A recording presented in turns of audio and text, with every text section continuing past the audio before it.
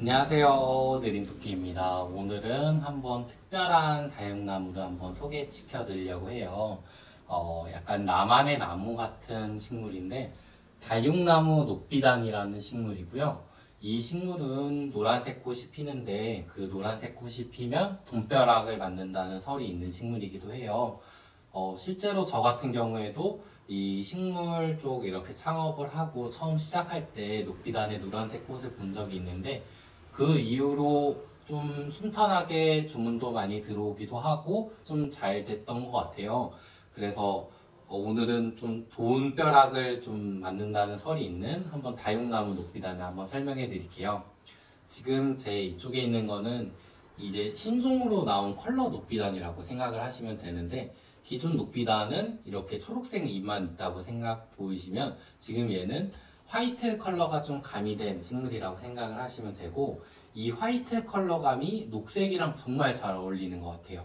그래서 지금 매장에서나 뭐 온라인 쪽에서나 뭐 되게 인기 있는 상품이라고 생각을 하시면 되고 막 수량이 그렇게 많지는 않아서 한 번쯤 집안 분위기를 좀 바꾸고 싶다고 하시면 괜찮을 것 같아요.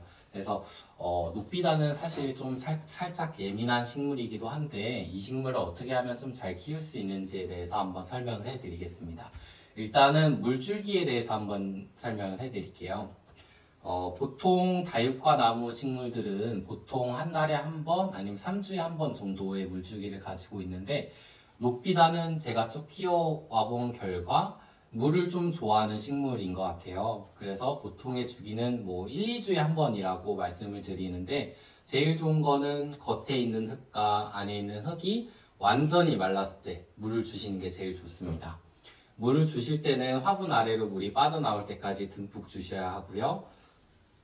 겉흙과 속흙이 말랐을 때는 이렇게 손으로 꾹 눌렀을 때 물기가 아예 안 느껴진다면 그때 물을 주시는 게 제일 좋고 녹비단 같은 경우에는 잎을 이런 식으로 만졌을 때 잎이 지금은 탄탄해요. 지금 잎이 되게 탄탄하고 그런데 이렇게 만졌을 때 약간 흐물흐물 거리거나 그런 경우가 가끔씩 있어요. 그럴 때는 물이 부족하다는 신호를 보내는 거여서 그런 걸 캐치하시고 물을 주시면 좋습니다. 그리고 햇빛은 어떻게 받아야 되는지에 대해서 한번 설명을 해드리면 녹비단은 햇빛을 정말 좋아하는 식물이에요. 저도 좀 옥상에 놓, 고 키워봤었는데 저 어쨌든 처음 실내에 있다가 갑작스럽게 옥상으로 가게 되면 강한 빛을 받게 되잖아요. 그러면 잎들이 타들어갈 수도 있어요.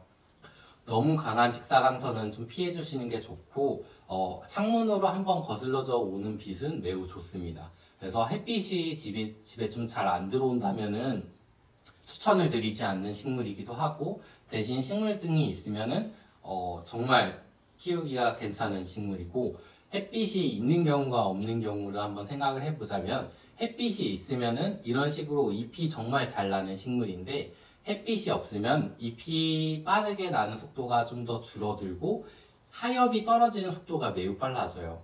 그러니까 밑에 잎이 빠르게 지면서 위에 잎은 많이 안 나다고 생각을 해주시면은 약간 벌거숭이가 된 것처럼 정말 몇 가닥이 안 남을 수가 있거든요.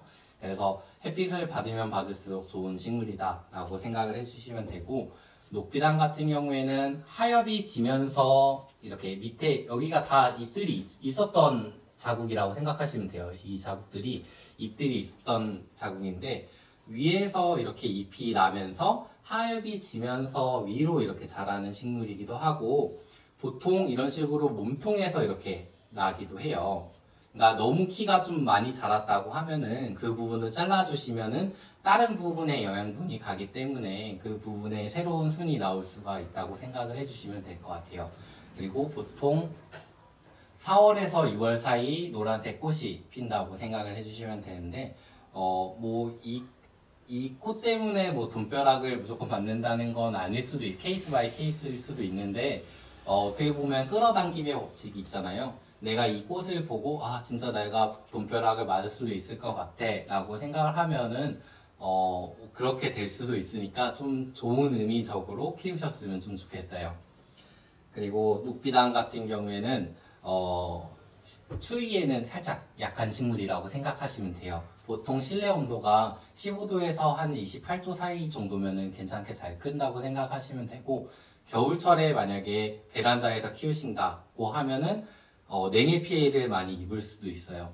어, 저 같은 경우에는 이 식물이 보통 겨울에는 많이 안 나오기도 하지만 겨울에는 품절을 걸어놓는 식물이에요. 그러니까 겨울철에 입고가 됐다고 해도 배- 발송 이제 배송으로 나가게 되면은 얼어서 도착하는 경우가 되게 많아요. 그러니까 그만큼 추위에는 매우 약한 식물이니까 꼭 겨울철에는 실내에서 키우시는 걸 좀 추천을 해드린다고 생각하시면 될 것 같습니다. 그리고 보통 모든 식물들이 봄, 여름, 가을, 겨울철 물줄기가 모두 다르게 돼요. 그러니까 거의 봄, 가, 봄에는 날씨도 선선하고 이 식물 자체도 이제 성장하는 시기다 보니까 물줄기가 좀 빨라질 수도 있다고 생각을 해주시면 되고 얘네들이 겨울철에는 성장을 안 할 때는 어, 물줄기가 그만큼 늘어나게 되는 거라고 생각하시면 될 것 같습니다. 그래서 환경 키우는 환경에 따라서 물주기가 좀 달라지니까 잎 상태를 이렇게 체크해 보시고 물을 주시는 것도 괜찮은 방법일 것 같습니다. 오늘은 좀 이렇게 신종 녹비단을 한번 소개시켜 드려봤는데 둘 다 정말 매력이 있는 식물인 것 같아요.